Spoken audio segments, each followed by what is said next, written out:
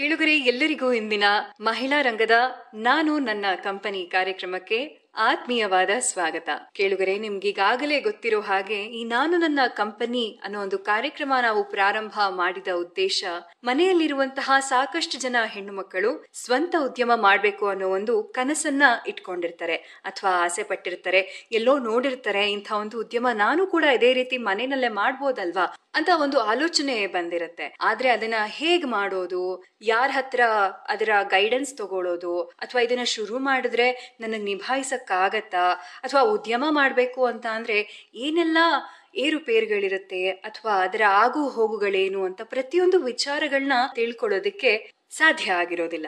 ಹಾಗಾಗಿ ನಾವು ಈ ಒಂದು ಕಾರ್ಯಕ್ರಮದ ಮೂಲಕ ನಿಮಗೆ ನಿಮ್ಮ ಸ್ವಂತ ಉದ್ಯಮವನ್ನ ಪ್ರಾರಂಭ ಮಾಡೋದು ಹೇಗೆ ಪ್ರಾರಂಭ ಮಾಡಿದ ನಂತರ ಅದನ್ನ ಹೇಗೆ ಮುಂದುವರಿಸ್ಕೊಂಡು ಹೋಗ್ಬೇಕು, ಹೇಗೆ ಅದನ್ನ ನಿಭಾಯಿಸಬೇಕು ಅನ್ನೋ ಒಂದು ವಿಚಾರಗಳನ್ನ ನಿಮಗೆ ತಿಳಿಸ್ಕೊಡೋ ಸಲುವಾಗಿ ಈ ನಾನು ನನ್ನ ಕಂಪನಿ ಅನ್ನೋ ಒಂದು ಕಾರ್ಯಕ್ರಮವನ್ನ ನಾವು ಪ್ರಾರಂಭ ಮಾಡಿದ್ದು. ಹಾಗೆ ಇವತ್ತು ಗೃಹಿಣಿಯಾದಂತಹ ಒಬ್ಬ ಮಹಿಳೆ ತಮ್ಮ ಗಂಡನ ಕೆಲಸಕ್ಕೆ ಸಮಸ್ಯೆ ಆದಾಗ ಸಮಯಕ್ಕೆ ಸರಿಯಾಗಿ ಸಂಬಳ ಬರ್ತಾ ಇರ್ಲಿಲ್ಲ.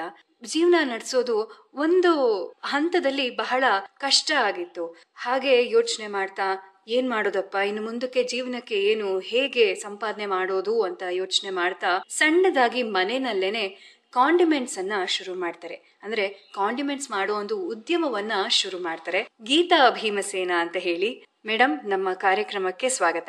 ನಮಸ್ಕಾರ. ನಿಮಗೂ ನನ್ಗೆ ಈ ಅವಕಾಶ ಕೊಟ್ಟಿದ್ದಕ್ಕೆ ತುಂಬಾ ಥ್ಯಾಂಕ್ಸ್ ಧನ್ಯವಾದಗಳು ಮೇಡಮ್ ಮೊದಲಿಂದ ಕೇಳ್ಬಿಡ್ತೀನಿ ನಿಮಗೆ, ಈ ಉದ್ಯಮ ನೀವು ಹೇಗ್ ಶುರು ಮಾಡಿದ್ರಿ? ಯಾವಾಗ ಶುರು ಮಾಡಿದ್ರಿ? Around nineteen ninety five ninety six ಅಲ್ಲಿ ನಮ್ಮ ಹಸ್ಬೆಂಡ್ಗೆ ಸ್ವಲ್ಪ ಕೆಲಸದಲ್ಲಿ ತೊಂದರೆ ಆಯ್ತು. ಅವಾಗ ಒಳ್ಳೆ ಕೆಲಸದಲ್ಲ ಇದ್ರೋರು, ಆದ್ರೆ ಹೆಂಗೆ ತೊಂದರೆ ಶುರು ಆಯ್ತು ಅಂದ್ರೆ ಮೂರ್ ತಿಂಗಳಿಗೊಂದ್ಸಲ ಒಂದ್ ತಿಂಗಳು ಸ್ಯಾಲ್ರಿ ಬರ್ತಾ ಇತ್ತು. ಹಂಗೆ ತುಂಬಾ ಸುಮಾರು ದಿನ ವೆಯ್ಟ್ ಮಾಡಿದ್ವಿ, ಸರಿ ಹೋಗುತ್ತೆ ಸರಿ ಹೋಗುತ್ತೆ ಅಂತ.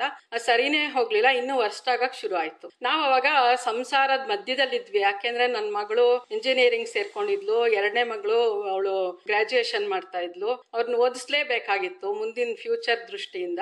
ಹಿಂಗಾಗಿ ನಾವ್ ಏನಾರ ಒಂದ್ ನಿರ್ಧಾರ ತಗೋಬೇಕಾಗಿತ್ತು. ಬೇರೆ ಅವ್ರ ಏನೋ ಬಿಸ್ನೆಸ್ ಮಾಡ್ಬೇಕು ಅಂತ ಯೋಚನೆ ಮಾಡಿದ್ರು ಕೂಡ ಅದಕ್ಕೆಲ್ಲ ಬಂಡವಾಳ ಬೇಕಾಗಿತ್ತು. ಅವ್ರಿಗೇನೋ ಆಸೆ ಇತ್ತು ಬಿಸ್ನೆಸ್ ಮಾಡ್ಬೇಕು ಅಂತ.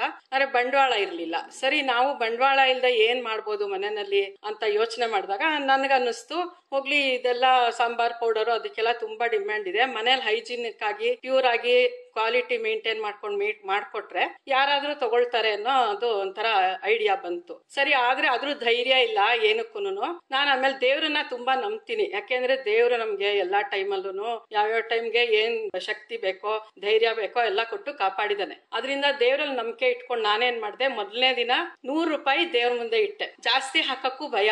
ನೂರು ರೂಪಾಯಿ ದೇವ್ರ ಮುಂದೆ ಇಟ್ಟು ಅದನ್ನ ತಗೊಂಡು ಅಂಗಡಿಗೆ ಹೋದೆ. ಕೇಳ್ಕೊಂಡೆ ದೇವ್ರನ್ನ ದೇವ್ರೇ, ಇದನ್ನ ನಾನ್ ಮಾಡ್ತಾ ಇದ್ದೀನಿ. ನನಗೆ ಅದರಲ್ಲಿ ಯಶಸ್ ಕೊಡು. ಈ ಸಂಸಾರನ ಮ್ಯಾನೇಜ್ ಮಾಡೋ ಅಷ್ಟು ಇದರಲ್ಲಿ ನನ್ಗೆ ಇದು ಕೊಡು, ಶಕ್ತಿ ಕೊಡು ಅಂತ ಅಂದ್ಬಿಟ್ಟು ಕೇಳ್ಕೊಂಡು ಹೋಗಿ ತಗೊಂಡ್ಬಂದೆ ಫಸ್ಟ್ ಜಾಸ್ತಿ ಸಾಮಾನ್ ತರ್ಲಿಲ್ಲ. ಎಲ್ಲ ಅರ್ಧ ಅರ್ಧ ಕೆಜಿ ಹಂಗ್ ತಗೊಂಡ್ ಬಂದು ಎಲ್ಲಾ ಪುಡಿಗಳು, ಸಾರಿನ ಪುಡಿ, ಹುಳಿ ಪುಡಿ, ಚಟ್ನಿ ಪುಡಿ, ಆಮೇಲೆ ಮೆಂತ್ಯ ಹಿಟ್ಟು, ವಾಂಗಿ ಭತ್ ಪುಡಿ ಎಲ್ಲಾನು ಅರ್ಧ ಅರ್ಧ ಕೆಜಿ ಮಾಡ್ದೆ. ಆಮೇಲೆ ನನ್ಗೆ ಯಾರ ಹತ್ರ ಹೇಳ್ಕೊಳಕ್ಕೂ ಒಂಥರ, ನಾನ್ ಮಾಡ್ತಾ ಇದ್ದೀನಿ, ತಗೊಳ್ಳಿ ಅಂತ ಹೇಳಕ್ಕೂ ನನ್ಗೂ ಒಂಥರ ದಾಕ್ಷಿಣ್ಯ. ಹಿಂಗಾಗಿ ಸುಮ್ನೆ ನಾನು ತುಂಬಾ ಕ್ಲೋಸ್ ಫ್ರೆಂಡ್ಸ್ ಸರ್ಕಲ್ ಅಲ್ಲಿ ಒಂದ್ ಇಬ್ರು ಮೂರ್ ಜನಕ್ಕೆ ಮಾತ್ರ ಫೋನ್ ಮಾಡ್ಬಿಟ್ಟು ಹೇಳ್ದೆ. ಹಿಂಗೆ ನಾನು ಮಾಡ್ತಾ ಇದ್ದೀನಿ. ನೀವು ಯಾರಾರ, ನೀವು ತಗೊಂಡ್ರು ಸರಿ ಇಲ್ದಾರೆ ಯಾರ ನಿಮ್ಗೆ ಮನೆಯಲ್ಲಿ ಮಾಡಿದ್ ಬೇಕು ಅಂತ ಯಾರಾರ ನಿನ್ಗೆ ಕೇಳೋರಿದ್ರೆ ಅವ್ರಿಗೆ ದಯವಿಟ್ಟು ರೆಫರ್ ಮಾಡಿ. ಅವ್ರು ತಗೊಂಡ್ರೆ ನನ್ಗೆ ಹಿಂಗೆ ಎನ್ಕರೇಜ್ ಮಾಡ್ದಂಗ ಆಗುತ್ತೆ ಅಂತ. ಆಮೇಲೆ ಅವ್ರಿಗೆ ತುಂಬಾ ಖುಷಿ ಪಟ್ರು ಅವ್ರುಗಳು. ಈಗಲೂ ನನ್ಗೆ ಅವ್ರನ್ನ ಸದಾ ಜ್ಞಾಪಿಸ್ಕೊಳ್ತಾ ಇರ್ತೀನಿ. ತುಂಬಾ ಸಂತೋಷ ಪಟ್ಟು ನೀನು ಧೈರ್ಯದಿಂದ ಇದ್ ಮಾಡ್ತಿದ್ಯಲ್ಲ?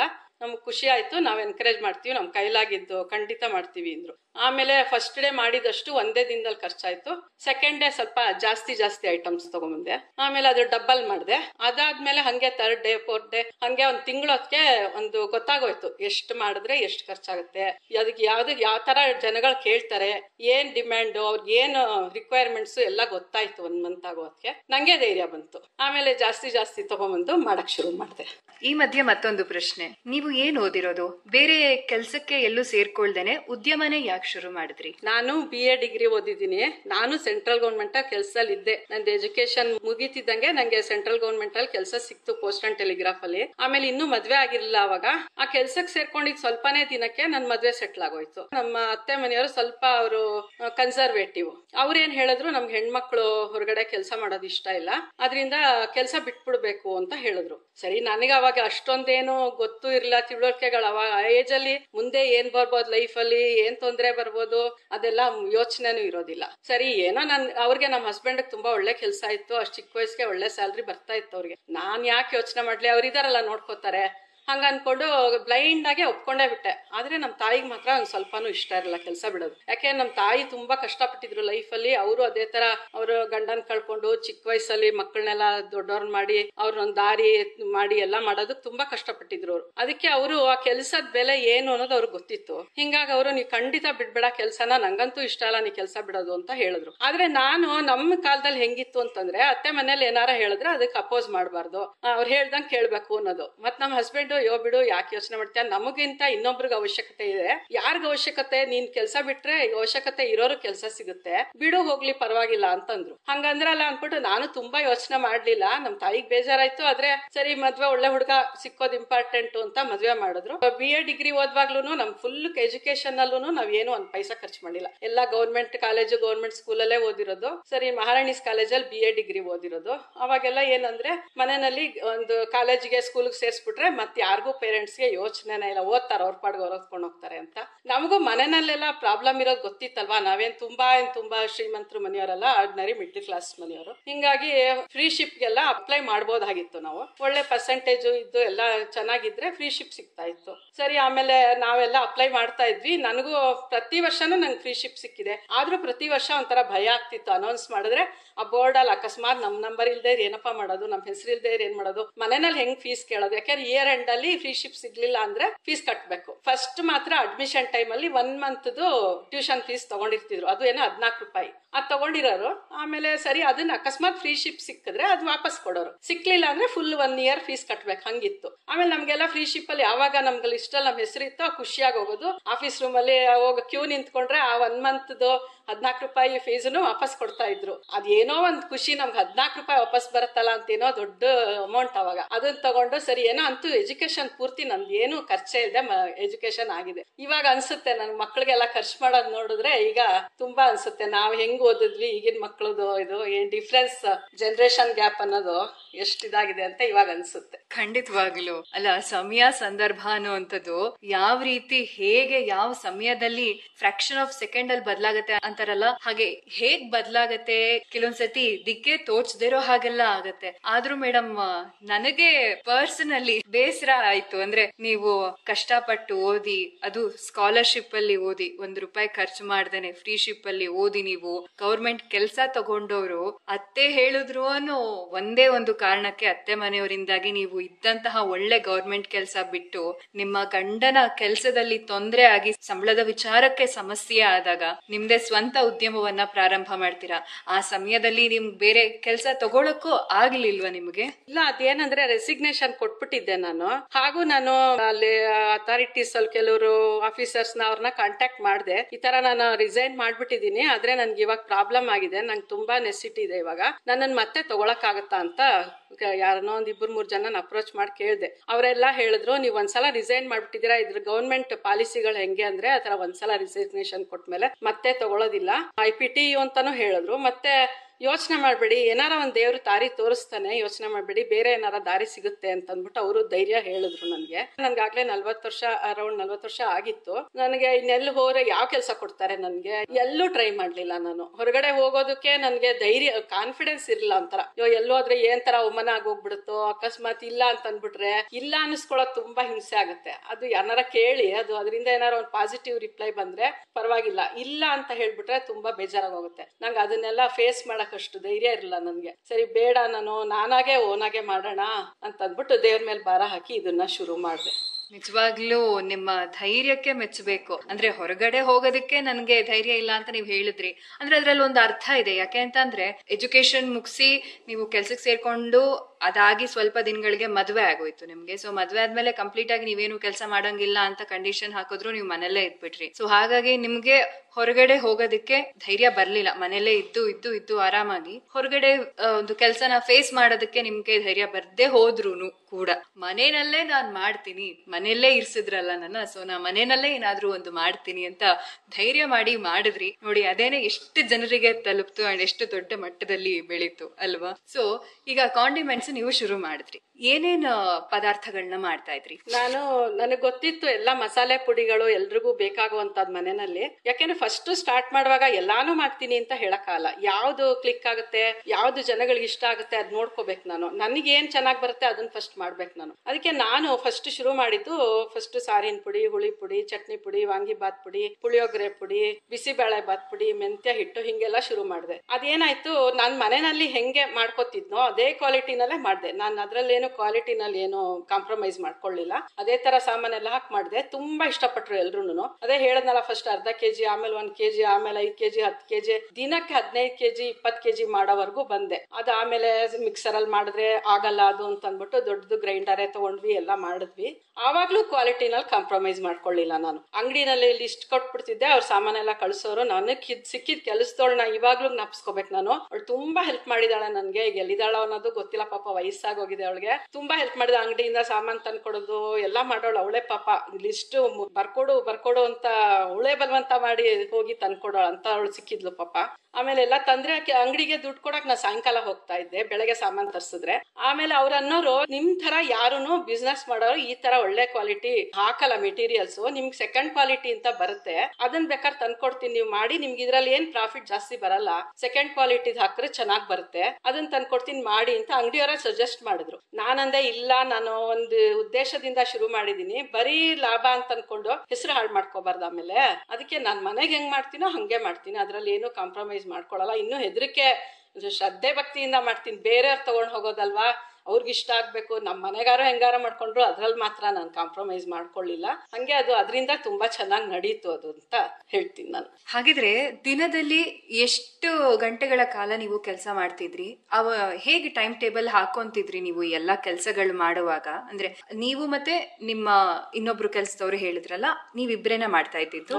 ಶುರು ಮಾಡಿದಾಗ ಫಸ್ಟ್ ನಾನೇ ಮಾಡಿದೆ. ಯಾವಾಗ ಅದ್ರದ್ದು ಆರ್ಡರ್ಗಳು ಅದು ಜಾಸ್ತಿ ಬರಕ್ ಶುರು ಆಯ್ತೋ ಒಬ್ರನ್ನ ಹೆಲ್ಪರ್ನ ಇಟ್ಕೊಂಡೆ. ಅವಾಗ ಅವರು ಹುಳಿ, ಹುರಿಯೋದು ಎಲ್ಲ ಅವ್ರು ಮಾಡ್ತಾ ಇದ್ರು. ಗ್ರೈಂಡರ್ಗೆ ಹಾಕೋದು ನಾನ್ ಮಾಡ್ತೆ. ಇಬ್ರು ಸೇರ್ಕೊಂಡು ಮಾಡ್ತಾ ಇದ್ವಿ. ಬರೀ ಇಷ್ಟೇ ಅಲ್ಲ, ಅದಾದ್ಮೇಲೆ ಏನಾಯ್ತು, ಇವ್ರ ಕಸ್ಟಮರ್ಸ್ ಎಲ್ಲ ತಗೊಂಡ್ ಹೋಗ್ತಾ ಇದ್ರು. ಎಲ್ಲಾರು ಇಷ್ಟಪಟ್ರು. ಫಾರಿನ್ ಕಂಟ್ರೀಸ್ಗೆಲ್ಲ ಅವ್ರ ಮಕ್ಕಳೆಲ್ಲ ಹೊರಗಡೆ, ಈಗ ಸಾಮಾನ್ಯ ಎಲ್ಲರೂ ಹೊರಗಡೆ ಇರ್ತಾರಲ್ವಾ? ಅವ್ರಿಗೆಲ್ಲ ಕಳ್ಸೋರು. ಅವ್ರೆಲ್ಲಾರು ಇಲ್ಲ, ನಂಗೆ ಬೇರೆ ಒಂದ್ಸಲ ಬೇರೆ ಕಡೆ ಯಾವ್ದಾರ ತಗೊಂಡ್ ನಮ್ಗೆ ಸಿಕ್ಲಿಲ್ಲ ಅಂತ ಕಳ್ಸಿದ್ರೆ ಅವ್ರಿಗೆ ಗೊತ್ತಾಗೋಗೋದು, ನೀನು ಯಾವಾಗ್ಲೂ ರೆಗ್ಯುಲರ್ ಆಗ್ತಾ ತರೋ ಕಡೆ ಕಳ್ಸಿಲ್ಲ, ನೀನ್ ಬೇರೆ ಕಡೆ ಕಳ್ಸಿದ್ಯಾ ಅಂತ ಅನ್ನೋರು. ಅಷ್ಟ್ರ ಮಟ್ಟಿಗೆ ಅವ್ರುಗಳು ಇದಿಟ್ಕೊಂಡಿದ್ರು, ನನ್ ಮೇಲೆ ನಂಬಿಕೆ ಇಟ್ಕೊಂಡು. ನನ್ನ ಹತ್ರನೇ ಬಂದು ತಗೊಂಡ್ ಹೋಗೋರು. ಅದಾದ್ಮೇಲೆ ಅವರೆಲ್ಲ ಏನಂದ್ರು, ಬರೀ ಇಷ್ಟೇ ಅಲ್ಲ, ಹಪ್ಳ ಸಂಡ್ಗೆನೋ ಮಾಡ್ತೀರಾ ನೀವು? ನಮ್ಗೆ ಹೊರಗಡೆ ಎಲ್ಲಿ ತಗೊಂಡ್ರು ನಮ್ಗೆ ಸ್ಯಾಟಿಸ್ಫ್ಯಾಕ್ಷನ್ ಇಲ್ಲ. ಅದು ಎಲ್ಲ ಮಾಡ್ತೀರಾ? ಅಂತ ಕೇಳ್ತಿದ್ರು. ಸರಿ, ಹಾಗೆ ಒಂದು ಒಂದು ಅಂತ ಶುರು ಆಯ್ತು. ಅದಕ್ಕೆ ಹೆಂಗ್ ಟೈಮ್ ಟೇಬಲ್ ಫಿಕ್ಸ್ ಮಾಡ್ಕೊಂಡೆ ನಾನು ಅಂದ್ರೆ, ಈಗ ಬಿಸಿಲು ಶುರು ಆಗೋ ಅಷ್ಟ್ರಲ್ಲಿ ಮೇಲೆ ಬಿಸಿಲಿನ ಕೆಲಸ ಎಲ್ಲ ಮಾಡ್ಬಿಡ್ಬೇಕು. ಅದರಿಂದ ಫಸ್ಟ್ ಸಂಡಿಗೆ ಅದು ಸಂಡಿಗೆ ಬರೀ ಒಂದ್ ಎರಡು ತಿಂಗಳು, ಮೂರ್ ತಿಂಗಳು ಸಮ್ಮರ್ ಅಷ್ಟೇ. ಮಿಕ್ಕಿ ಟೈಮಲ್ಲಿ ಅದ್ ಮಾಡಕ್ಕಾಗಲ್ಲ.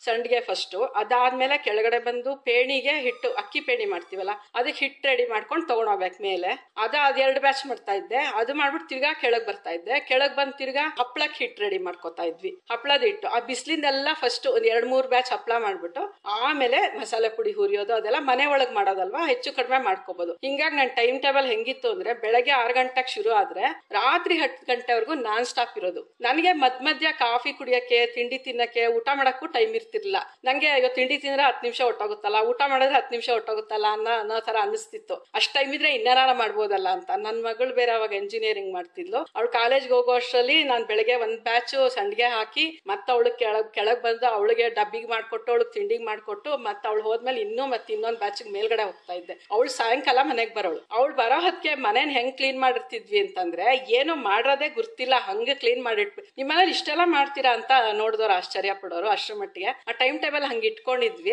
ಸಾಯಂಕಾಲದವರೆಗೂ ಎಲ್ಲ ಮಾಡೋದು. ಆಮೇಲೆ ಸಾಯಂಕಾಲದ ಮೇಲೆ ಮೇಲೆ ಒಣಗಿರೋದು ಹಪ್ಳ, ಪೇಣಿ ಅದೆಲ್ಲ ತಗೊಂಡ್ ಬರೋದು. ತಗೊಂಡ್ ಬಂದು ಅದನ್ನೆಲ್ಲ ಪ್ಯಾಕ್ ಮಾಡ್ಬೇಕಲ್ಲ? ಪ್ಯಾಕಿಂಗ್ ಎಲ್ಲ ರಾತ್ರಿ ಆಗ್ತಾ ಇತ್ತು. ರಾತ್ರಿ ಹತ್ತು ಗಂಟೆವರೆಗೂ ಆಗೋದು. ನಮಗ್ ಸಿಕ್ಕಿದ್ ಓನರ್ ತುಂಬಾ ಒಳ್ಳೆ ಓನರ್ ಸಿಕ್ಕಿದ್ರು. ನಾವು ಕತ್ರಿಗುಪ್ಪೆನಲ್ಲಿದ್ವಿ. ಎಷ್ಟು ಒಳ್ಳೆಯವರು ಅಂದ್ರೆ ಪಾಪ ಅವರು ಮೇಲ್ಗಡೆ ಒಂದ್ ಸೆಕೆಂಡ್ ಫ್ಲೋರ್ ಅಲ್ಲಿ ಒಂದ್ ಮನೆ ಇತ್ತು. ಒಂದ್ ಬೆಡ್ರೂಮ್ ಹೌಸ್ ಅದ್ ಪೂರ್ತಿ ಅದು ಖಾಲಿ ಇತ್ತು. ನನ್ಗೆ ಕೊಟ್ಬಿಟ್ಟಿದ್ರು ಅಕ್ಕಿನ ನೀವು ಹೆಂಗ್ ಬೇಕಾದ್ರೆ ಯೂಸ್ ಮಾಡ್ಕೊಳ್ಳಿ. ನೀವೆಲ್ಲ ಮಾಡ್ತಿರಲ್ವಾ? ಹಪ್ಳ ಸಂಡಿಗೆ ಎಲ್ಲ ಹಪ್ಳ ಸಂಡಿಗೆ ಎಲ್ಲ ಒಂದಿನ ಒಣಗಲ್ಲ ಎರಡು ಮೂರು ದಿನ ಒಣಗಿಸ್ಬೇಕಾಗತ್ತೆ.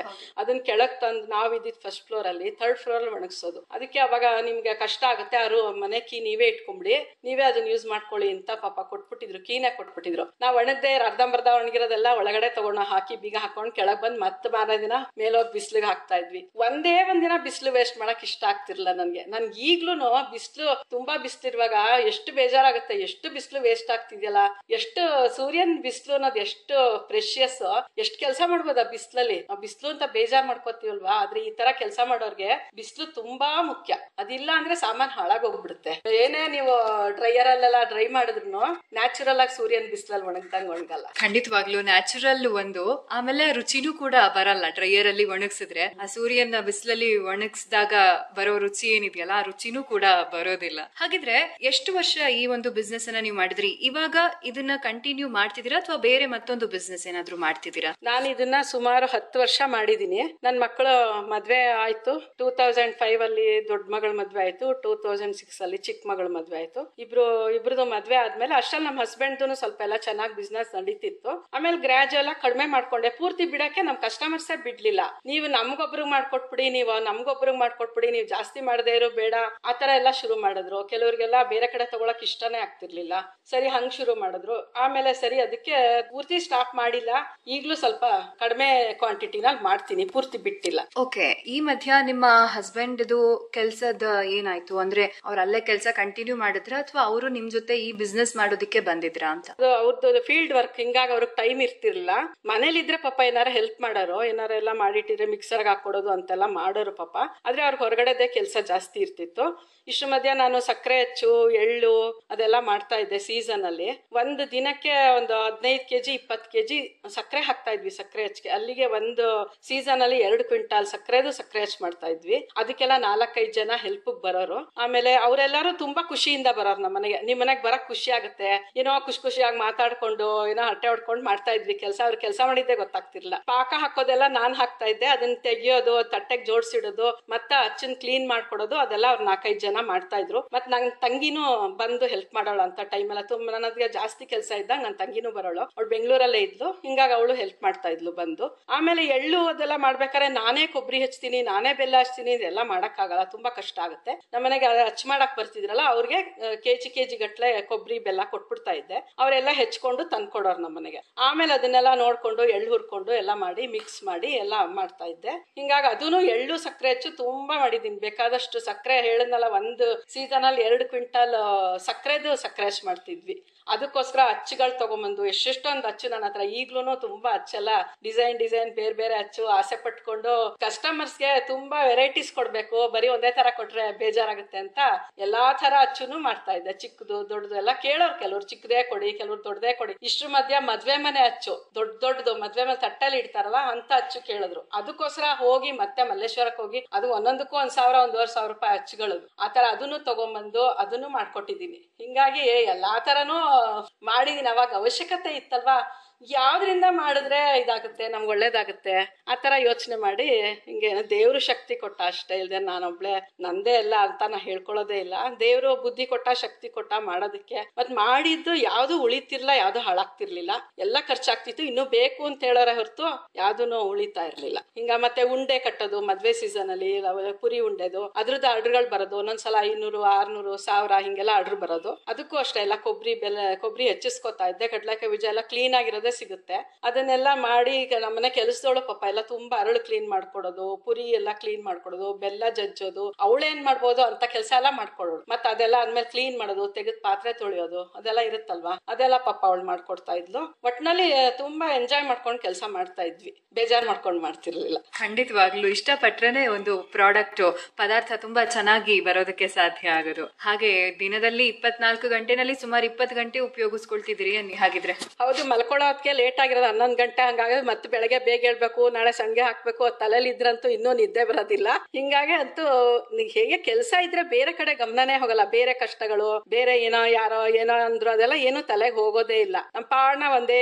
ಕಡೆ ಕಾನ್ಸಂಟ್ರೇಟ್ ಮಾಡಿರ್ತೀವಿ. ಕೆಲಸ ಚೆನ್ನಾಗ್ ಆಗ್ಬೇಕು ಕಸ್ಟಮರ್ ಸ್ಯಾಟಿಸ್ಫ್ಯಾಕ್ಷನ್ ಆಗ್ಬೇಕು. ಇಷ್ಟೇ ನಮ್ದು ಇರುತ್ತೆ ಮತ್ ನಮ್ದು ದುಡ್ಡು ಬೇಕು. ಅದಿಲ್ಲ ಅಂತಲ್ಲ, ಅದಕ್ಕೋಸ್ಕರ ತಾನೇ ನಾನು ಶುರು ಮಾಡಿದ್ದು. ಅದು ಬೇಕು. ಅದನ್ನೇ ನನಗೆ ಜಸ್ಟ್ ನಿಮ್ಗೆ ಕೇಳೋಣ ಅಂತಿದ್ದೆ. ಸೊ ಫೈನಾನ್ಷಿಯಲಿ ನಿಮ್ಗೆ ಮೇಂಟೈನ್ ಆಯ್ತಾ ಈ ಒಂದು ಉದ್ಯಮ ಶುರು ಮಾಡಿದ್ಮೇಲೆ ಮೇಲೆ? ಆಯ್ತು, ಖಂಡಿತ ಆಯ್ತು. ಮೇಂಟೈನ್ ಆಯ್ತು. ಅದ್ರಲ್ಲೇ ನಾನು ಮತ್ತೆ ಅದ್ರಲ್ಲಿ ಇರೋದನ್ನೆಲ್ಲ ಖರ್ಚು ಮಾಡಬಾರ್ದು, ಬರೋದೆಲ್ಲ ಖರ್ಚು ಮಾಡಬಾರ್ದು ಅಂತ ಮತ್ತೆ ಅದ್ರಲ್ಲೂ ಸ್ವಲ್ಪ ಸೇವ್ ಮಾಡ್ತಾ ಇದ್ದೆ. ಅಷ್ಟೊತ್ತಿಗೆ ನನ್ನ ಮಗಳು ಇಂಜಿನಿಯರಿಂಗ್ ಮುಗಿತು, ಅವಳು ಕೆಲ್ಸಕ್ಕೆ ಸೇರ್ಕೊಂಡ್ಲು ಅವಳಿಗೂ ಒಳ್ಳೆ ಕೆಲಸ ಸಿಕ್ತು. ಆಮೇಲೆ ಅಂದ್ಲವಳು ನೀನ್ ಮಾಡ್ಬೇಡ, ಬಿಟ್ಬಿಡು, ಯಾಕೆ ಬೇಡ ಅಂತ. ನಾನು ಒಂದು ಅದು ಕೈ ಹಿಡ್ದಿದೆ ನನ್ಗದು.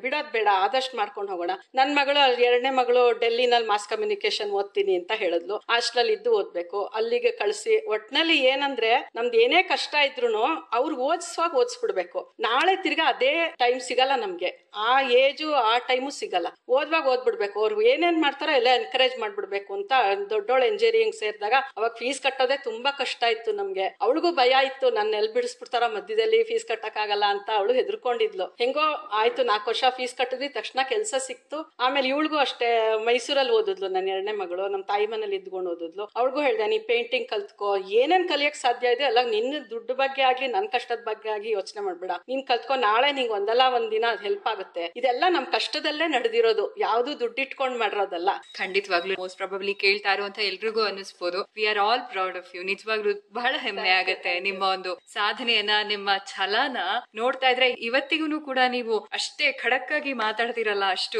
ಕಾನ್ಫಿಡೆಂಟ್ ಆಗಿ ಮಾತಾಡ್ತೀರಾ ಸೊ ಇಷ್ಟೆಲ್ಲ ಮಾಡಿದ್ರಿ ಪದಾರ್ಥಗಳು ಮಾಡಿದ್ರಿ ಸಂಪಾದನೆ ಮಾಡಿದ್ರಿ ಮಕ್ಕಳನ್ನ ಮುಂದಕ್ಕೆ ತಂದ್ರಿ ಒಬ್ರೇ ನಿಂತು ಪಿಲ್ಲರ್ ಆಗಿ ನೋಡ್ಕೊಂಡಿದೀರಾ ಪ್ರತಿಯೊಂದು ವಿಚಾರಗಳನ್ನು ನೀವೇ ನಿಭಾಯಿಸಿದೀರಾ ಸೊ ಇದಾದ ನಂತರ ಮತ್ತೊಂದು ಉದ್ಯಮವನ್ನ ಶುರು ಮಾಡಿದೆ ಅಂತ ನೀವು ಹೇಳ್ತಾ ಇದ್ರಿ. ನನಗೆ ಟೈಲರಿಂಗ್ ಅಲ್ಲಿ ಆಸಕ್ತಿ ಇತ್ತು ಅಂತ ನೀವು ಹೇಳ್ತಾ ಇದ್ರಿ. ಸೊ ಅದನ್ನು ಇದ್ರ ಜೊತೆಗೆ ಪ್ರಾರಂಭ ಮಾಡಿದ್ರ ಅಥವಾ ಹೇಗೆ? ಸುಮಾರು ಒಂದು ನಲ್ವತ್ತು ವರ್ಷದಿಂದ ಟೈಲರಿಂಗ್ ಕಲ್ತಿದ್ದೆ. ಅಂದ್ರೆ ಅದು ನನ್ಗೇನೋ ನನ್ ಬ್ಲೌಸ್ ಹೊಲ್ಕೊಳ್ಳೋದು, ನನ್ ಸೀರೆ ಫಾಲ್ ಹಾಕೊಳ್ಳೋದು, ಅಷ್ಟಕ್ಕೆ ಲಿಮಿಟ್ ಆಗಿತ್ತು. ಮಕ್ಕಳಿಗೆಲ್ಲ ಚಿಕ್ಕವರಾಗಿದ್ದಾಗ ಬಟ್ಟೆ ಎಲ್ಲ, ಫ್ರಾಕ್ಸ್ ಎಲ್ಲ ಹೊಲಿತಾ ಇದ್ದೆ. ಅವ್ರ ಒಂದ್ ದೊಡ್ಡವರಾದ್ಮೇಲೆ ಅದೆಲ್ಲ ಅವ್ರ ಬಟ್ಟೆ ಎಲ್ಲ ರೆಡಿಮೇಡ್ ತಗೊಳಕ್ ಶುರು ಮಾಡಿದ್ರು. ನಾನು ಆಮೇಲೆ ಅವ್ರದ್ದೇನು ಹೊಲಿತಿರ್ಲಿಲ್ಲ ಈಗ್ಲೂ ನನ್ ಬ್ಲೌಸ್ ಎಲ್ಲ ನಾನೇ ಹೊಲ್ಕೊಳ್ತೀನಿ. ಅದಾದ್ಮೇಲೆ ನಮ್ಮ ತಾಯಿ ತುಂಬಾ ಫೋರ್ಸ್ ಮಾಡಿದ್ರು. ಈಗ ಒಂದು ಏಳೆಂಟು ವರ್ಷದ ಹಿಂದೆ ಅವರು ಬೆಂಗಳೂರಿಗೆ ಬಂದಾಗ ಒಂದ್ಸಲ ಅಷ್ಟೊತ್ತಿಗೆ ಅವರು ಬ್ಯಾಗ್ ಎಲ್ಲ ಹೊಲಿಯೋದು ಕ್ಲಾಸ್ಗೆ ಹೋಗಿ ಕಲ್ತ್ಕೊಂಡಿದ್ರು ನಮ್ಮ ತಾಯಿ. ಅವ್ರಿಗೂ ಏಯ್ಟಿ ಟೂ ಇಯರ್ಸ್ ಈಗ ಆದ್ರೆ ಅವ್ರಿಗೆ ಈಗ್ಲೂ ನಮಗಿಂತ ಜಾಸ್ತಿ ಇಂಟ್ರೆಸ್ಟ್ ಜಾಸ್ತಿ ಉತ್ಸಾಹ ಇದೆ ಅವ್ರಿಗೂ ಈಗ್ಲೂ ಅವರು ತುಂಬಾ ಹೇಳಿದ್ರು, ನೀನ್ ಕಲ್ತ್ಕೊ, ನಿಂಗೆ ಯೂಸ್ ಆಗುತ್ತೆ, ಯಾವಾಗ್ಲಾರು ಹೆಲ್ಪ್ ಆಗುತ್ತೆ, ಕಲ್ತ್ಕೊ ಕಲ್ತ್ಕೊ. ನಾನು, ಅಯ್ಯೋ, ನಂಗೆ ಬ್ಲೌಸ್ ಹೊಲ್ಕೋತೀನಿ, ನಂಗೆ ಸಾಕು, ಇನ್ನೇನು ಬೇಡ, ಅಂತಂದೆ. ಆದ್ರೆ ಬಿಡ್ಲಿಲ್ಲ ಅವರು.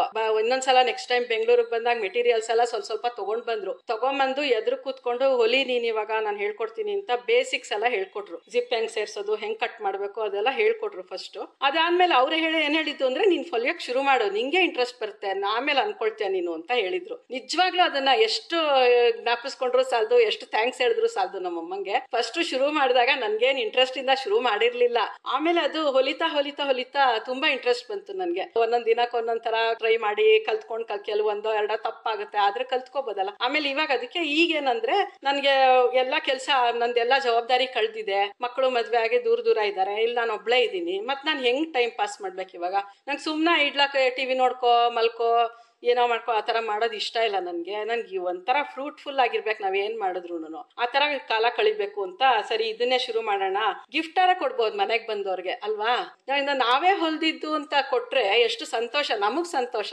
ಇಸ್ಕೊಳ್ಳೋರ್ಗೆ ಏನಾಗುತ್ತೋ ಗೊತ್ತಿಲ್ಲ, ನನ್ಗಂತೂ ತೃಪ್ತಿ ಸಿಗುತ್ತೆ. ಅದಕ್ಕೆ ಅದ, ಅದಾನ ಮಾಡ ಮೆಟೀರಿಯಲ್ಸ್ ಎಲ್ಲ ತಗೊಂಡ್ಬರ್ತೀನಿ ಹೋಗಿ ಹೋಲ್ಸೇಲ್ ಇದ್ರಲ್ಲಿ. ತಗೊಂಡ್ ಬಂದು ಒಂದೊಂದ್ ದಿನ ಒಂದೊಂದ್ ತರ ಕಟ್ ಮಾಡಿ ಎಲ್ಲ ಹೊಲಿತಾ ಇರ್ತೀನಿ. ಸುಮಾರು ಯಾರು ಮನೆಗೆ ಬಂದ್ರು ಗಿಫ್ಟ್ಗಳು ಕೊಡ್ತೀನಿ. ಅವ್ನ್ ಮೂರ್ನಾಲ್ಕು ಜನ ಕಸ್ಟಮರ್ಸ್ ಇದ್ದಾರೆ ಅವರು ಬಂದು ತಗೊಂಡ್ ಹೋಗ್ತಾರೆ. ನಾನು ಸ್ಟೇಟಸ್ ಅಲ್ಲಿ ಹಾಕಿರ್ತೀನಲ್ಲ, ನೋಡ್ತಾರೆ ಬ್ಯಾಗ್ಸ್ ಎಲ್ಲ ಬೇರೆ ಬೇರೆ ತರ ಹೊಲ್ದಿರ್ತೀನಿ. ಅವ್ರು ಫೋನ್ ಮಾಡ್ತಾರೆ ಮೆಸೇಜ್ ಮಾಡ್ತಾರೆ, ಬಂದು ಒಟ್ಟೊಟ್ಟಿಗೆ ತಗೊಂಡ್ ಹೋಗ್ತಾರೆ. ತುಂಬಾ ಕಸ್ಟಮರ್ಸ್ ಏನಿಲ್ಲ ನಂಗೆ. ಒಂದ್ ಮೂರ್ನಾಲ್ಕು ಜನ ಇದಾರಷ್ಟೇ. ನಂಗೇನು ಬೇಜಾರಿಲ್ಲ. ಯಾಕೆಂದ್ರೆ ನಾನು ಹೋದ್ರೆ ಅದೇನು ಹಾಳಾಗೋದಿಲ್ಲ, ಇರುತ್ತೆ. ಯಾವಾಗ ಬೇಕಾದ್ರೂ ಮನೆಗೆ ಒಂದೊಂದ್ಸಲ ಇದ್ದು ಮೊನ್ನೆ ಹತ್ತನ್ನೆರಡು ಜನ ಒಟ್ಟಿಗೆ ಗೆಸ್ಟ್ಗಳು ಬಂದ್ಬಿಟ್ರು. ತಕ್ಷಣ ಕೊಟ್ಟೆ ಮನೇಲಿ ಇತ್ತಲ್ವಾ ಖುಷಿ ಕೊಡಕ್ಕೆ. ಅದಕ್ಕೆ ನಂಗೆ ಖರ್ಚಾಗದೆ ಇದ್ರು ಬೇಜಾರಿಲ್ಲ ನಂಗೆ. ಅದ್ ನಿಲ್ಸೋದು ಇಲ್ಲ, ಖರ್ಚಾಗ್ಲಿಲ್ಲ ಅಂತ. ಹೊಲಿತಾನೆ ಇರ್ತೀನಿ. ಈಗ ಅದೊಂದು ನನಗೆ ಟೈಮ್ ಪಾಸ್ ಆಗಿದೆ. ಮತ್ತೆ ಮನಸ್ಸಿಗೆ ತುಂಬಾ ತೃಪ್ತಿ ಸಿಗುತ್ತೆ. ನನ್ನ ಪ್ಯಾಷನ್ ಅದು. ಸ್ವಲ್ಪ ಇನ್ಕಮು ಇದೆ ಇಲ್ಲ ಅಂತಲ್ಲ. ಅಂದ್ರೆ ನನ್ಗೆ ಅದಕ್ಕೆ ಇನ್ಕಮ್ಗಿಂತ ಹೆಚ್ಚಾಗೆ ನಂಗೆ ಸ್ಯಾಟಿಸ್ಫ್ಯಾಕ್ಷನ್ ಕಾಂಡಿಮೆಂಟ್ಸ್ ಇಂದ ಶುರು ಮಾಡಿ ಆನಂತರ ನಂತರ ಮಧ್ಯದಲ್ಲಿ ಟೈಲರಿಂಗ್ ಕಲ್ತು ಇವಾಗ ಬ್ಯಾಗ್ಸ್ ಗಳನ್ನ ಹೊಲಿತಾ ಇನ್ನೇನಾದ್ರೂ ಇಷ್ಟ್ರ ಮಧ್ಯ ಹೇಳೋದ್ ಮರ್ತಿದ್ದೆ. ಸ್ಯಾರಿ ಬಿಸ್ನೆಸ್ ಮಾಡಿದೀನಿ ನಾನೊಂದು ಸ್ವಲ್ಪ ಒಂದು about five to six years ಮಾಡಿದೀನಿ. ಅದೇನಾಯ್ತು ನಮಗೆ ಬೆಳಗಾಂನಲ್ಲಿ ಕೆಲ್ಸದಲ್ಲಿದ್ರು ನಮ್ಮ ಹಸ್ಬೆಂಡ್ ಬೆಳಗಾಮಿಂದ ಮೈಸೂರಿಗೆ ಟ್ರಾನ್ಸ್ಫರ್ ಆಯ್ತು. ಸರಿ ಅವಾಗ ನಮ್ಗೆ ಯಾರೋ ಒಬ್ರು ಫ್ರೆಂಡ್ ಬೆಳಗಾಮಿಂದ ಒಂದ್ ಎರಡು ಸೀರೆ ತಂದ್ಕೊಡಿ ಅಂತ ಕೇಳಿದ್ರು. ಯಾವ್ದೋ ಪರ್ಟಿಕ್ಯುಲರ್ ಇಂಥ ಜಾಗದಲ್ಲಿ ಸಿಗುತ್ತೆ ಅಂತ. ಅಲ್ಲಿ ಶಿಫ್ಟ್ ಮಾಡಿ ಮನೆ ಸಾಮಾನೆಲ್ಲ ಕಳ್ಸಿ ಎಲ್ಲ ಮಾಡಿ ಊರ್ಗ್ ಹೊರಡಕ್ ಮುಂಚೆ ಹೋಗಿದ್ವಿ ಅಲ್ಲಿಗೆ, ಜಾಗ ಹುಡ್ಕೊಂಡು. ಹೋಗಿ ಎರಡು ಸೀರೆ ತಗೊಳ್ಳೋಣ ಅಂತಂದ್ರೆ ಅವರು ಎಷ್ಟು ಬಲವಂತ ಮಾಡಿದ್ರು ಅಂದ್ರೆ ನೀವು ಮೈಸೂರ್ಗೆ ಹೋಗ್ತಿದ್ದೀರಲ್ವಾ? ನಾವೊಂದು ಸ್ವಲ್ಪ ಸೀರೆಗಳು ಕೊಡ್ತೀನಿ ಬಿಸ್ನೆಸ್ ಮಾಡಿ ನೀವು. ಚೆನ್ನಾಗಾಗುತ್ತೆ ನಿಮ್ಗೆ ಮಾಡಿ ಮಾಡಿ. ಇಲ್ಲ, ನಾನು ಎಂದೂ ಅವ್ರ ಮುಖ ನೋಡಿಲ್ಲ. ನಾವು ದುಡ್ಡು ತಗೊಂಡೋಗಿಲ್ಲ, ದುಡ್ಡು ಕೊಟ್ಟಿಲ್ಲ, ಮಾಡಿಲ್ಲ. ಅವ್ರು ನಾನು ದುಡ್ಡು ಕೇಳೇ ಇಲ್ಲ ನಿಮ್ನ. ಸೀರೆ ತಗೊಂಡೋಗಿ ನೀವು ಫಸ್ಟ್ ನೋಡಿ. ಆಮೇಲೆ ಆಮೇಲೆ ನಾವೇ ಬಂದು ಕಲೆಕ್ಟ್ ಮಾಡ್ಕೋತೀವಿ ದುಡ್ಡು. ಮೈಸೂರಿಗೆ ಬರ್ತಿರ್ತೀವಿ ನಾವು, ತಗೋತೀವಿ ಅಂತ ಹೇಳಿದ್ರು. ಆಮೇಲೆ ಸರಿ, ನನ್ಗೆ ಇಷ್ಟನೇ ಇರಲಿಲ್ಲ. ಅಯ್ಯೋ, ಅಷ್ಟೊಂದು ಸಾವಿರಾರು ಗಟ್ಲೆ ಸೀರೆಗಳು ತಂದ್ಬಿಟ್ಟು ಆಮೇಲೆ ವ್ಯಾಪಾರ ಆಗದೆ ಇರೋ ವ್ಯಾಪಾರ ಆಗದೆ ಇದ್ರು ನೀವು ಬೇಜಾರು ಮಾಡ್ಕೋಬೇಡಿ ನಾವು ಸೀರೆಗಳು ವಾಪಸ್ ತಗೊಂಡೋಗ್ತೀವಿ ಅಂತ. ಅಷ್ಟು ಎನ್ಕರೇಜ್ ಮಾಡಿದ್ರು ಅವರು. ನಂಗೆ ಆಶ್ಚರ್ಯ ಆಯ್ತು ಅವ್ರು ಯಾಕೆ ಅಷ್ಟೊಂದು ಫೋರ್ಸ್ ಮಾಡಿ ಕೊಟ್ರು ಅಂತ ಅಂದ್ಬಿಟ್ಟು. ಆಮೇಲೆ ತಗೊಂಬಂದೆ ಆ ಒಂದೇ ಸಲಕ್ಕೆ ಎಲ್ಲ ಸೇಲ್ ಆಗೋಯ್ತು. ಮತ್ತಿರ್ಗ ಎಲ್ಲ ತುಂಬಾ ಇಷ್ಟ. ಅವಾಗ ಸ್ವಲ್ಪ ಟ್ರೆಂಡ್ ಅಲ್ಲಿ ಇತ್ತು ಆ ಸೀರೆಗಳು. ಅದು ಎಲ್ಲರೂ ಇಷ್ಟಪಡೋರು. ಒಂಥರ ಬೆಳಗಾಂ ಕಡೆ ಸೀರೆ ಒಂಥರ ಪಾಲಿ ಸೀರೆಗಳು. ಅವಾಗ ತುಂಬಾ ಟ್ರೆಂಡ್ ನೋಡಕ್ಕೆ ರೇಷ್ಮೆ ಸೀರೆ ತರ ಕಾಣೋದು. ಎಲ್ಲರೂ ಇಷ್ಟಪಡೋರು. ಅಂದ್ರೆ ಒಗದ್ರು ಏನಾಗಲ್ಲ ರಫ್ಯೂಸ್ ಮಾಡ್ಬೋದು. ಆತರ ಎಲ್ರಿಗೂ ಇಷ್ಟ ಆಗೋಯ್ತದು. ತಿರ್ಗಾ ಆಮೇಲೆ ಅವ್ರಿಗೆ ಫೋನ್ ಮಾಡಿದೆ ಆಮೇಲೆ ಅವ್ರು ಪಾರ್ಸಲ್ ಕಳ್ಸಿದ್ರು. ಸುಮಾರು ವರ್ಷ, ಐದಾರು ವರ್ಷ ಅದೇ ತರ ನಡೀತು. ಅದರಲ್ಲೂ ಚೆನ್ನಾಗಿ ಸಂಪಾದನೆ ಆಯ್ತು. ಅವಾಗ ಮೂಡಾದವರು ಸೈಟ್ಸ್ಗೆ ಕಾಲ್ಫರ್ ಮಾಡಿದ್ರು. ಅವಾಗ ನಮ್ಮ ತಾಯಿ ಏನ್ ಹೇಳಿದ್ರು ನಿನ್ನ ಹೆಸರು ರೇಷನ್ ಕಾರ್ಡ್ ಅಲ್ಲಿ ಇದೆ ನಿನ್ನ ಹೆಸರಲ್ಲಿ ಅಪ್ಲೈ ಮಾಡು ಅಂದ್ರು. ಅಯ್ಯೋ, ನಮ್ಗೆ ಎಲ್ಲಿ ಸಿಗುತ್ತೆ ಬಿಡು, ಸಿಗಲ್ಲ ಅಂತಂದೆ. ಆದ್ರೂ ಬಿಡ್ಲ ನಮ್ಮಮ್ಮ ಮಾಡು ಮಾಡು ಅಂತ ಬಲವಂತ ಮಾಡಿದ್ರು. ಅವಾಗ ಎರಡೂವರೆ ಸಾವಿರ ಇನಿಷಿಯಲ್ ಡಿಪಾಸಿಟ್ ಕಟ್ಬೇಕಾಗಿತ್ತು. ಅವಾಗ ಎರಡೂವರೆ ಸಾವಿರ ಅಂತಂದ್ರೆ ದೊಡ್ಡ ಅಮೌಂಟ್ ಏನೇನೆ. ಅವಾಗ ನಂಗೆ ಈ ಸೀರೆ ಬಿಸ್ನೆಸ್ ಅಲ್ಲಿ ದುಡ್ಡು ಬಂದಿತ್ತಲ್ಲ, ಅದ್ರಲ್ಲಿ ಫಸ್ಟ್ ಇನಿಷಿಯಲ್ ಡಿಪಾಸಿಟ್ ಕಟ್ಟಿದೆ ಕಟ್ಟಿದ್ದಕ್ಕೆ ಅದೊಂದೇ ಸಲ ಲಾಟ್ರಿ ಸಿಸ್ಟಮ್ ಅಲ್ಲಿ ಡ್ರಾ ಮಾಡಿದ್ರು. ಸೈಟ್ಸ್ ಅಲಾಟ್ ಮಾಡಕ್ಕೆ. ಅದೊಂದೇ ಸಲ ಅನ್ಸುತ್ತೆ ಆಗಿದ್ದು. ಲಕ್ಕಿಲಿ ನಂಗೆ ಫಸ್ಟ್ ಟೈಮೇ ಸಿಕ್ಬಿಡ್ತು. ಅದರಿಂದ ಈ ಬಿಸ್ನೆಸ್ ಇಂದ ಅದು ಒಂದು ಹೆಲ್ಪ್ ಆಗಿದೆ ಅಂತ ಹೇಳ್ಬೋದು. ನಿಜವಾಗ್ಲೂ ಗೌರ್ಮೆಂಟ್ ಕೆಲಸ ಹೋಯ್ತು ಆದ್ರೆ ಉದ್ಯಮ ನಿಮ್ ಕೈ ಹಿಡಿತು. ಹೌದು ಹೌದು ಖಂಡಿತ. ಬಹಳ ಸಂತೋಷ ಆಗತ್ತೆ. ನೋಡಿ ಹೀಗೆ ಇದಕ್ಕೆ ಹೇಳ್ತಾರೆ ವಿಧಿ ಅಂತ ಅಲ್ವಾ? ಯಾವಾಗ ಹೇಗೆ ಸಮಯ ಸಂದರ್ಭ ಯಾವ ತರ ಬದಲಾಗತ್ತೆ ಹೇಗೆ ನಮ್ಮನ್ನ ಯಾವ್ದೋ ಒಂದು ದಾರಿಲಿ ಇದ್ದವ್ರನ್ನ ಇನ್ಯಾವುದೋ ದಾರಿಗೆ ಹೇಗೆ ಕರ್ಕೊಂಡು ಹೋಗುತ್ತೆ ಅನ್ನೋದಕ್ಕೆ ನಿಮ್ಮ ಒಂದು ಉದ್ಯಮದ ಜರ್ನಿ ಅಥವಾ ನಿಮ್ಮ ಜೀವನದ ಹಾದಿನೇ ಒಂದು ದೊಡ್ಡ ಉದಾಹರಣೆ ಇವತ್ತು ನಮಗೆ ಕೇಳೋರಿಗೆ ಎಲ್ರಿಗೂನು ಬಹಳ ಸಂತೋಷ ಆಗತ್ತೆ. ಸೊ ಹಾಗಿದ್ರೆ ಇವತ್ತು ಸಣ್ಣ ಮಟ್ಟಿಗೆ ಮುಂಚೆ ಎಷ್ಟು ನಿಮ್ ಕೈಲಿ ಮಾಡಕ್ ಆಗದೆ ಹೋದ್ರು ಸ್ವಲ್ಪ ಮಟ್ಟಿಗೆ ನಿಮ್ ಕೈಲಿ ಎಷ್ಟಾಗತ್ತೋ ಅಷ್ಟು ಮುಂದುವರಿಸ್ಕೊಂಡು ಬಂದಿದ್ದೀರಾ? ಹೋಗ್ತಾ ಇದ್ದೀರಾ? ಮಾಡ್ಕೊಂಡು ಹೋಗ್ತಾ ಇದ್ದೀರಾ? ಹೌದು. ನನಗೂ ಅರವತ್ತೆಂಟು ವರ್ಷ ಈಗ. ವಯಸ್ಸಿಗೆ ತಕ್ಕಂಗ್ ಸ್ವಲ್ಪ ಎಲ್ಲ ಆಗಿರುತ್ತೆ. ಬೆನ್ನೋವು ಮಂಡಿ ನೋವೆಲ್ಲ. ಈಗ ಕೆಳಗಡೆ ಕೂತ್ಕೊಳಕ್ ಆಗಲ್ಲ ನನ್ಗೆ. ಏನ್ ಮಾಡಿದ್ರು? ಮೇಲ್ಗಡೆ ಪ್ಲಾಟ್ಫಾರ್ಮ್ ಮೇಲೆ ಇಟ್ಕೊಂಡು ಮಾಡ್ಬೇಕು. ಅದರಿಂದ ತುಂಬಾ ಜಾಸ್ತಿ ಎಲ್ಲ ಮಾಡಕ್ಕಾಗಲ್ಲ. ಆದ್ರೆ ಬಿಡಕ್ಕೂ ಇಷ್ಟ ಇಲ್ಲ. ಅದರಿಂದ ಸ್ವಲ್ಪ ಮಟ್ಟಿಗೆ ಮಾಡ್ಕೊಂಡು ಹೋಗ್ತಾ ಇದ್ದೀನಿ. ಆಗ್ಲಿ ಮೇಡಮ್ ಬಹಳ ಸಂತೋಷ ಆಗತ್ತೆ. ಈ ವಯಸ್ಸಲ್ಲೂ ನಿಮ್ಮ ಒಂದು ಹುಮ್ಮಸ್ಸು ಅಥವಾ ನಿಮ್ಮ ಮಾತಲ್ಲಿ ಇರುವಂತಹ ಒಂದು ಗಟ್ಟಿತನ ಅಥವಾ ಒಂದು ಗತ್ತು ಅಥವಾ ಒಂದು ಕಾನ್ಫಿಡೆನ್ಸು ಬಹಳ ಸಂತೋಷ ಆಗುತ್ತೆ. ಅಂಡ್ ಇವತ್ತಿಗೂ ಎಷ್ಟಾಗತ್ತೋ ಅಷ್ಟು ನೀವು ಮುಂದುವರ್ಸ್ಕೊಂಡು ಹೋಗ್ತಿದಿರಲ್ಲ ಅದೇನೆ ನಿಜವಾಗ್ಲೂ ಖುಷಿ ಆಗುವಂತಹ ಒಂದು ವಿಚಾರ. ಸೊ ಇವತ್ತು ಈ ಕಾರ್ಯಕ್ರಮವನ್ನ ಕೇಳಿದಂತಹ ಕೇಳಿಸ್ಕೊಳ್ತಾ ಇರುವಂತಹ ಸಾಕಷ್ಟು ಜನರು ಅನ್ಕೊಳ್ತಾ ಇರ್ತಾರೆ. ಯಾವ್ದೋ ಒಂದು ಸಮಯದಲ್ಲಿ ಏನೋ ಒಂದು ಕೆಟ್ಟ ಘಟನೆ ನಡೀತು, ಅಥವಾ ಏನೋ ಸಮಸ್ಯೆ ಆಯ್ತು ಅಂತ ಹೇಳಿ ಜೀವನಾನೇ ಮುಗಿದು ಹೋಯ್ತು ಅಂತ ಅನ್ಕೊಳ್ಳೋ ಬಹಳಷ್ಟು ಜನರಿಗೆ ಇವತ್ತು ನೀವು ಬಹಳ ದೊಡ್ಡ ಸಂದೇಶವನ್ನ ಕೊಟ್ಟಿದ್ದೀರಾ. ಕೈಯಲ್ಲಿ ಇದ್ದಂತಹ ಗೌರ್ಮೆಂಟ್ ಕೆಲ್ಸನ ವಾಲಂಟಿಯರ್ ಆಗಿ ರಿಸೈನ್ ಮಾಡಿ ಅತ್ತೆ ಮನೆಯವರು ಬೇಡ ಅಂದ್ರೂ ಕೆಲ್ಸಕ್ಕೆ ಹೋಗೋದು ಹೆಣ್ಮಕ್ಳು ಮನೇಲಿರ್ಬೇಕು ಅನ್ನೋ ಒಂದು ಕಾರಣಕ್ಕೆ ನೀವು ಪಾಪ ನಿಮ್ಮ ಅತ್ತೆ ಮಾತು ಕೇಳಿ ನಿಮ್ಮ ಗಂಡನ ಮಾತು ಕೇಳಿ ಕೆಲಸ ಬಿಟ್ಟು ಆಮೇಲೆ ನಿಮ್ಮ ಗಂಡನ ಕೆಲ್ಸಕ್ಕೆ ತೊಂದರೆ ಆದಾಗ ಉದ್ಯಮಿಯಾಗಿ ಬೆಳೆದ್ರಲ್ಲ ನಿಜವಾಗ್ಲೂ hats off thank you so much ಖಂಡಿತವಾಗ್ಲೂ ಇವತ್ತು ನಿಮ್ಮ ಜೀವನದ ಹಾದಿಯನ್ನ ಹಾಗೆ ಉದ್ಯಮದ ಹಾದಿಯನ್ನ ನಮ್ಮ ಬಳಿ ಕೇಳುಗರ ಹತ್ರ ಎಲ್ರಿಗೂ ಶೇರ್ ಮಾಡ್ಕೊಂಡಿದ್ದಕ್ಕೆ ಹಂಚಿಕೊಂಡಿದ್ದಕ್ಕೆ ನಿಮ್ಮ ಸಮಯವನ್ನ ಮೀಸಲಾಗಿಟ್ಟಿದ್ದಕ್ಕೆ ಆಕಾಶವಾಣಿಯ ಪರವಾಗಿ ನಿಮಗೆ ತುಂಬು ಹೃದಯದ ಧನ್ಯವಾದಗಳು. ತುಂಬಾ ಧನ್ಯವಾದಗಳು. ನಿಮಗೂ ಆಕಾಶವಾಣಿ ವರ್ಗ, ಸಿಬ್ಬಂದಿ ವರ್ಗದವರು ಮೇನ್ಲಿ ಆಕಾಶವಾಣಿ ಎಲ್ಲಾರ್ಗು ನನ್ನ ಹೃತ್ಪೂರ್ವಕ ಧನ್ಯವಾದಗಳನ್ನು ತಿಳಿಸ್ತೀನಿ.